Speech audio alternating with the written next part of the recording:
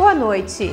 A habitação foi uma das temáticas apresentadas por Paulo Necli no Grande Expediente. Conheça o projeto dele específico para a área que vai envolver nada mais, nada menos que 2.500 casas, né? Uh, principalmente para pessoas de baixa renda, ou seja, aquelas famílias que têm uma renda até R$ 1.800. Vereador Renato Checker busca ampliar o prazo de validade de receitas médicas no município. Se não faltasse os medicamentos, beleza, receita 30 dias, tudo certo.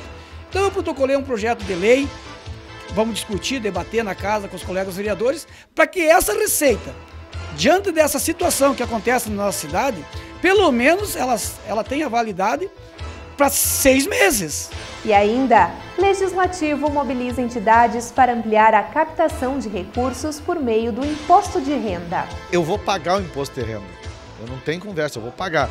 Eu posso deduzir uma parte, eu posso deixar uma parte em Passo Fundo e não mandar para Brasília. Eu posso deixar aqui, no fundo do idoso, no fundo da criança. Pode uh, uh, viabilizar projetos na passe para as pessoas com deficiência visual.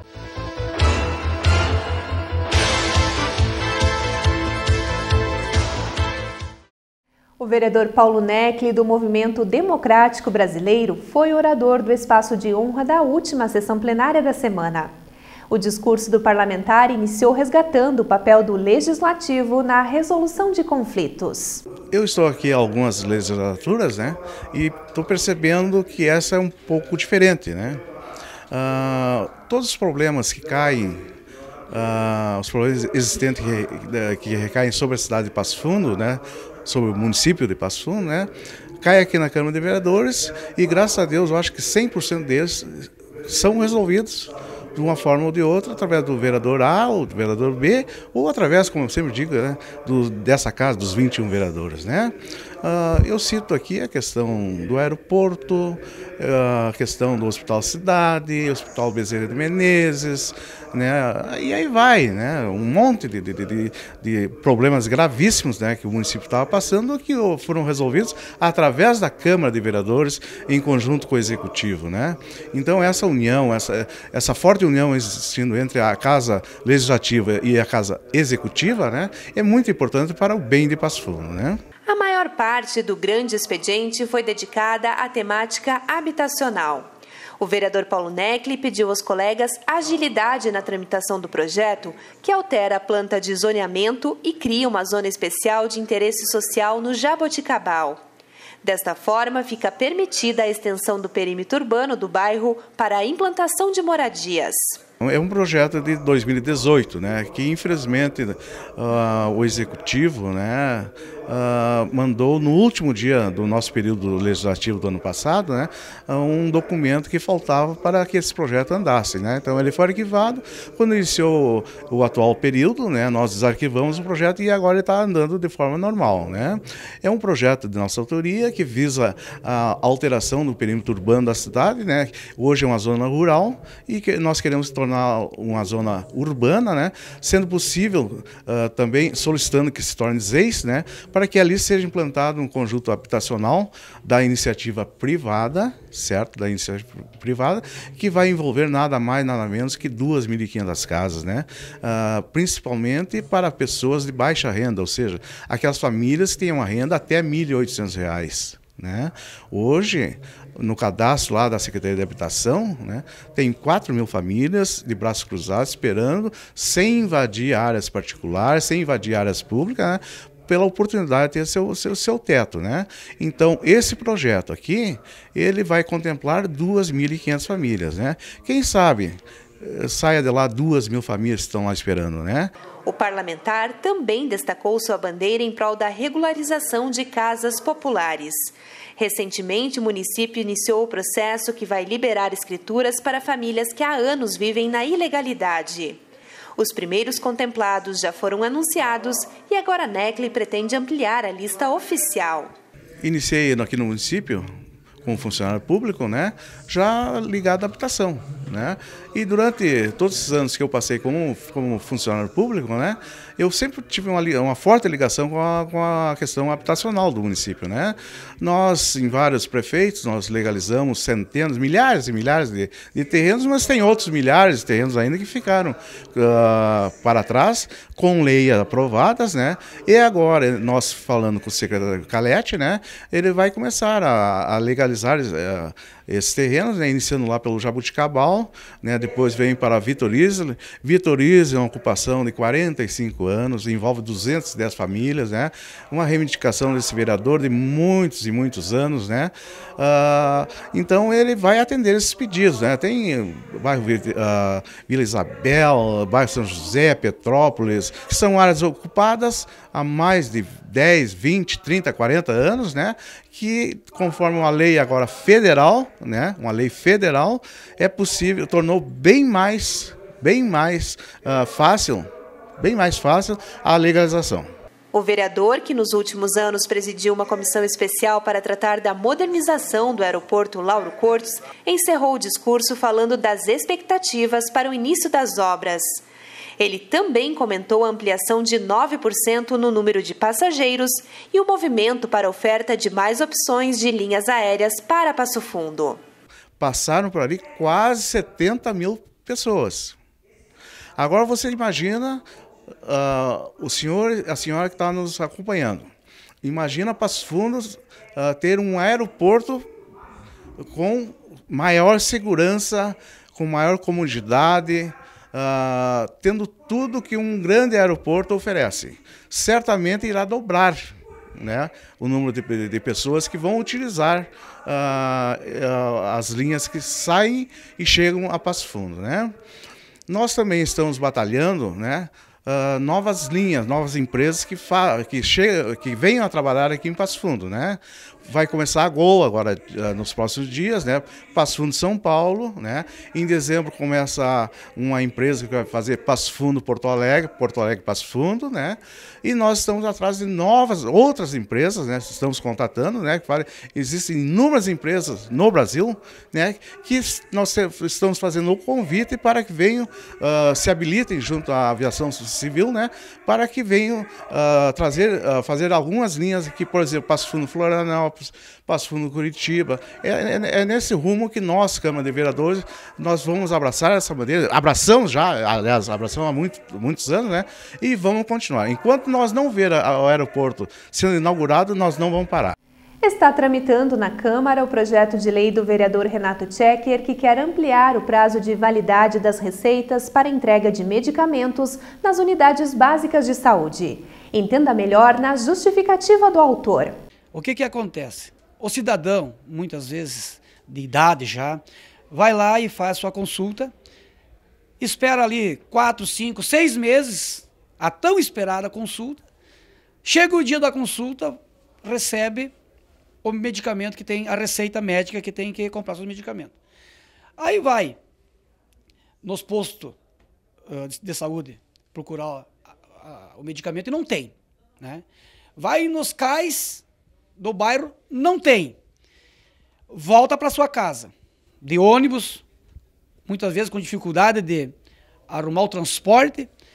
Aí espera mais uma semana, vai novamente não encontra.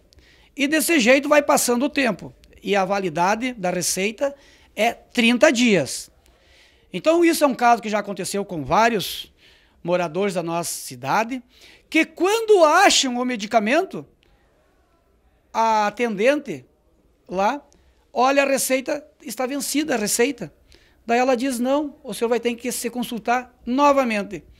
Bom, aí é uma baita de uma sacanagem que fazem com a nossa comunidade, justamente por estar faltando os medicamentos. Se não faltasse os medicamentos, beleza, receita 30 dias, tudo certo. Então eu protocolei um projeto de lei, vamos discutir, debater na casa com os colegas vereadores, para que essa receita diante dessa situação que acontece na nossa cidade, pelo menos ela, ela tem a validade para seis meses. Agosto iniciou oficialmente com a abertura da Semana do Município, que comemora 162 anos de emancipação político-administrativa no dia 7. E a programação de aniversário é intensa e se estende ao longo de todo o mês, com ações de programas de governo, assinaturas de obras e atividades de cultura, música e lazer. A tradicional meia maratona e rústica dos 162 anos de Passo Fundo acontece na manhã de domingo. Mais informações no site www.pmpf.rs.gov.br. E depois do intervalo, a gente destaca as pautas de reuniões permanentes que aconteceram na semana.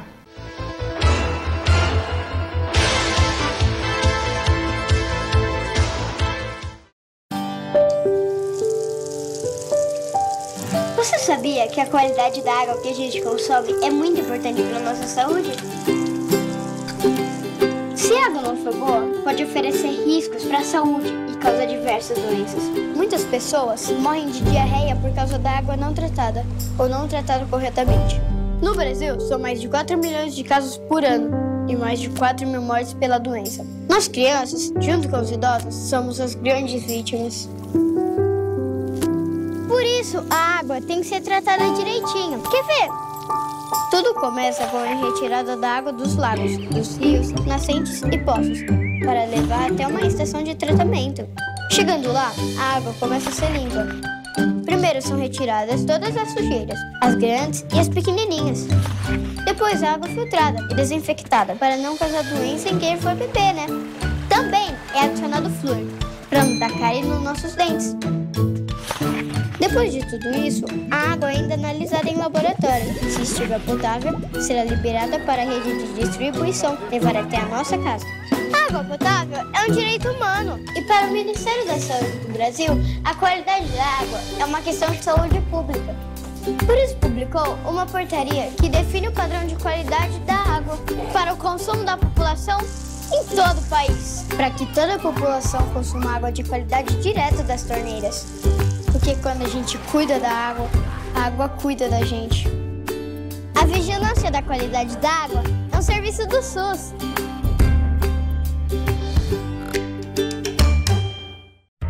A Câmara de Vereadores está com você. Está com a Verônica na consulta médica. Vai junto com o Cauã para a escola. Acompanhe o seu Arcério e a Dona Conceição durante o lazer. É pelo seu bem-estar que a Câmara trabalha. E é com a sua presença que vamos fazer mais pela nossa cidade. Vem participar, vem transformar, vem acontecer. Câmara de Vereadores de Passo Fundo transformando a vida de todos nós.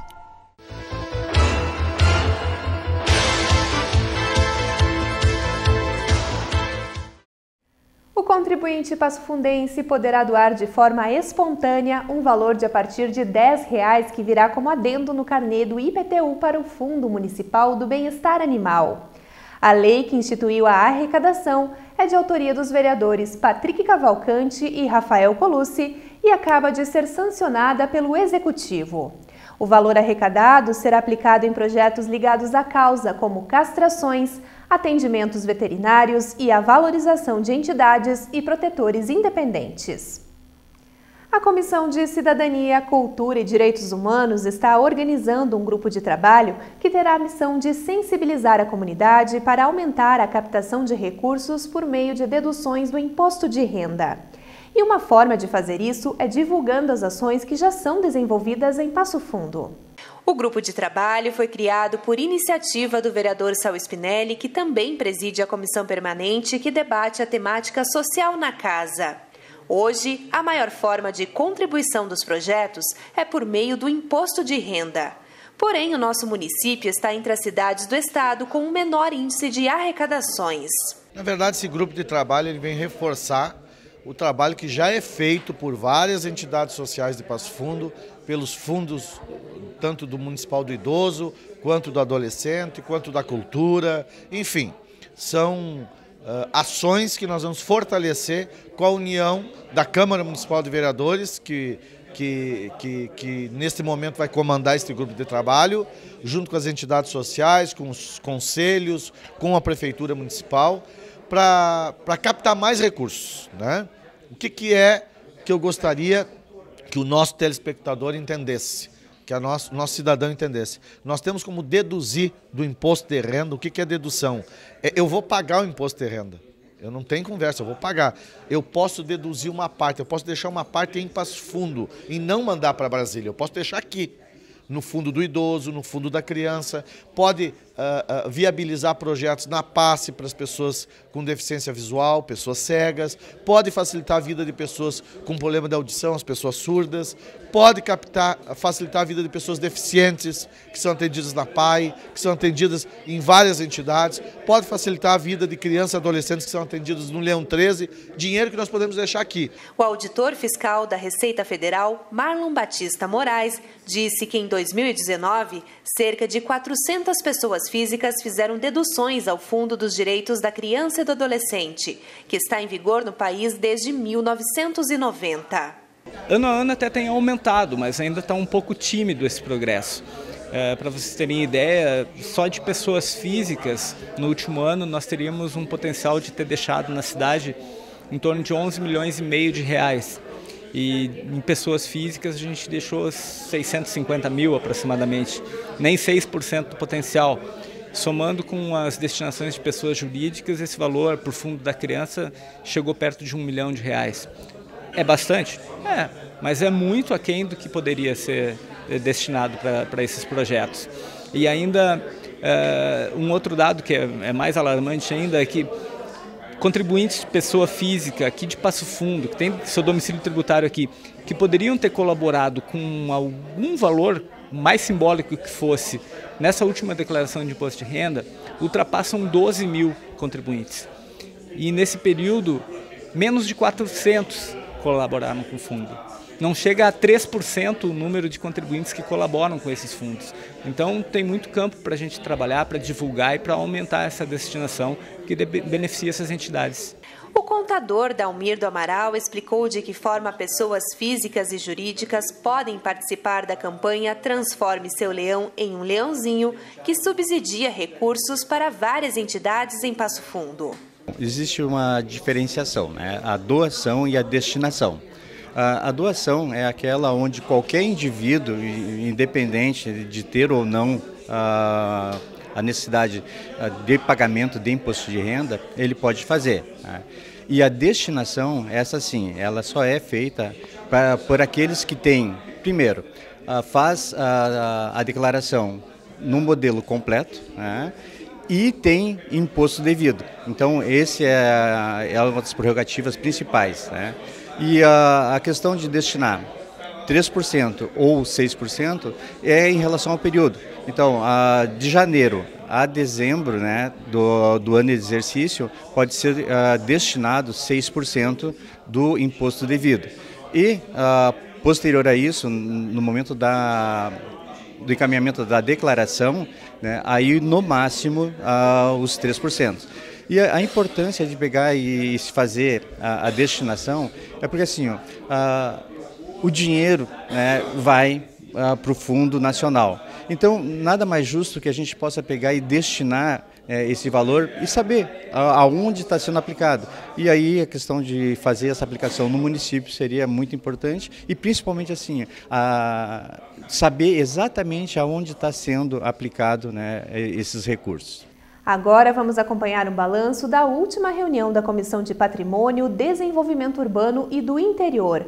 As informações com o vereador Ronaldo Rosa. Nossa comissão é a que trata da denominação de ruas, é, do patrimônio público e hoje na reunião nós liberamos vários processos é, de denominação de ruas aqui na nossa cidade, que em breve é, estarão vindo a plenário para votação e, e aí se, se tornarão do conhecimento público da nossa população as denominações. Também hoje nós liberamos um projeto que prevê um convênio é, entre o município e a Secretaria Estadual de Segurança Pública para estágios nas delegacias de polícia aqui de Passo Fundo e também do plano decimal de atendimento socioeducativo que também é um serviço importante que em breve estará em vigor aqui no nosso município. E a nossa comissão também hoje solicitou uma reunião com as demais comissões e com a mesa diretora para que a gente possa tratar de algumas alterações internas aqui no Legislativo, sobretudo a questão de servidores municipais e também da contratação de estagiários pela própria Câmara de Vereadores. E o Jornal da Câmara termina aqui. Boa noite e um ótimo fim de semana.